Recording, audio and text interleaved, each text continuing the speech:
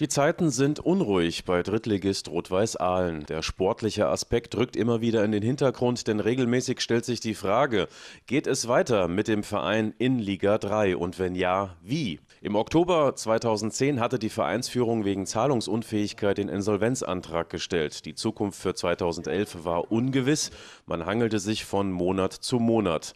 Der Spielbetrieb ist jedenfalls vorerst gesichert. Insolvenzverwalter Michael Mönig hat Sponsoren gefunden, die den Verein finanziell retten wollen. Das Sanierungskonzept muss aber erst noch von den Gläubigern bewilligt werden.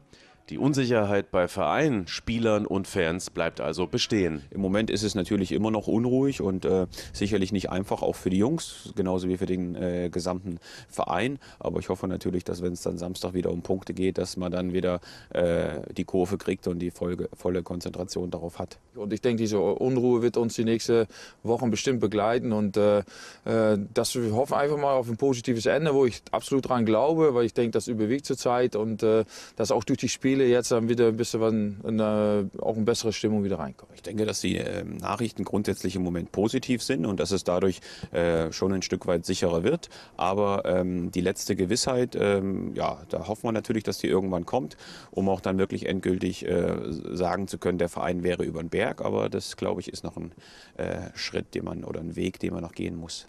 Nun war am Mittwochmorgen in einer lokalen Tageszeitung auch noch zu lesen, die Position des sportlichen Leiters Ronny Maul, die stehe auf der Kippe. Die Sponsoren hätten für den Posten andere Pläne. Viele Gerüchte kursieren in den letzten Wochen und Monaten in Aalen. Ronny Maul selbst wollte sich nicht an den Spekulationen beteiligen. Ja, ich habe es gelesen und ich stand auch ganz klar dabei, Gerüchte. Und das werden wir uns, wie gesagt, da werden wir die nächste Woche von begleitet werden. Weil ich denke, es wird viele Gerüchte geben die nächsten Wochen, aus welchen Gründen auch immer. Und von da aus möchte ich da nicht dran teilnehmen, weil ich denke, das ist eigentlich nicht meine Sache.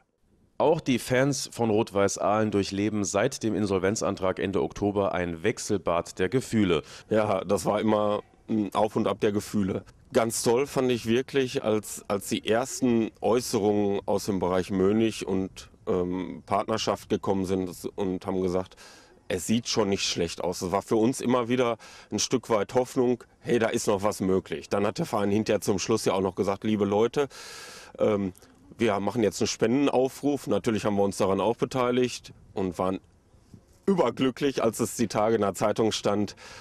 Es geht weiter. Diese Saison ist gesichert und äh, die nächste Saison sieht auch noch sehr gut aus. Sportlich ja, da lief es zuletzt in der dritten Liga sehr gut für die Truppe von Trainer Ari van Lent. Und auch die Testspiele in der Vorbereitung waren bis auf eine 0 zu 3 Schlappe gegen die Sportfreunde aus Lotte erfolgreich. Wir haben jetzt vier Testspiele gehabt und äh, ich denke, über die ganze gesamte Testspiele kann man zufrieden sein. Also auch wenn natürlich ein oder andere in der Vorbereitungsphase immer ein bisschen schwieriger läuft. Äh, aber das hat natürlich immer seine Gründe, Müdigkeit und äh, alles, was da noch dazu kommt. Nach dem Weggang von Christian Alder in der Verteidigung und Christian Knappmann im Sturm testet man bei Rot-Weiß aktuell drei neue Spieler.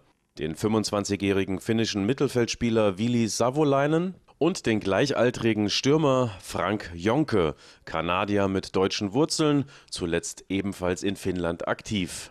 Ja, die haben, sind jetzt äh, drei Tage bei, haben gestern das Testspiel ein Großteils auch mitgemacht, äh, machen dann einen ordentlichen Eindruck. Die werden auch morgen noch da sein, also ein Tag. Und dann werden wir uns dann äh, einfach mal darüber Gedanken machen, über diese Spiele, ob es möglich ist oder ob es überhaupt zustande kommt, äh, dass sie hier spielen können. Dritter Neuling zum Test im Training dabei ist Abwehrspieler Christoph Kessler von Regionalligist FC Hansa Rostock 2. Ob die drei neuen Kandidaten auch verpflichtet werden, das steht noch nicht fest ist jetzt im Moment eigentlich erstmal nur so ein bisschen den Markt sondieren, mal testen, mal gucken, wie diese Qualität einzuschätzen ist. Also ist nicht wirklich verbindlich im Moment. Am kommenden Samstag steht mit dem Heimspiel gegen den Tabellenachten TuS Koblenz bereits das erste Punktspiel an. Eines von vielen Nachholspielen, die den Rot-Weißen demnächst englische Wochen bescheren dürften. Und Trainer Ari van Lent hat schon ganz genaue Vorstellungen, welche Spieler am Samstag in die Startelf kommen. Ich denke, dass wir einen Großteil so natürlich mit der Mannschaft äh, starten werden, die in der Hinrunde auch da war. Wir haben bei der einen oder anderen vielleicht noch ein paar leichte Probleme und ich hoffe, dass wir das bis Samstag hinkriegen. Und der eine oder andere ist da immer so vielleicht ein bisschen näher rangerückt. Die Konkurrenz bei unserer kleinen Mannschaft, kleine Kader, ist äh, schon ein bisschen enger geworden.